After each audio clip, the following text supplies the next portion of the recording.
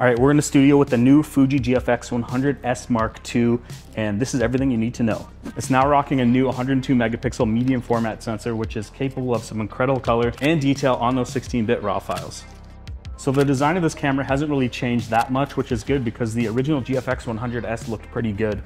And one thing that did change though is the texture on the grip. It now has something called a Bishamon Tex texture, which was actually introduced with the GFX 100 II.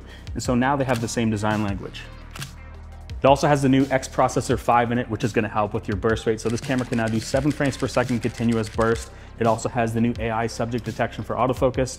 And what really matters is the improvements to the eye detection autofocus because it's so much better now and it's super obvious when you're working with these 100 megapixel files if that eye is slightly out of focus. Fuji's up to 20 film simulations now, and of course this comes with the new Reala Ace, but I'm more of a classic chrome kind of guy. What's your favorite film sim?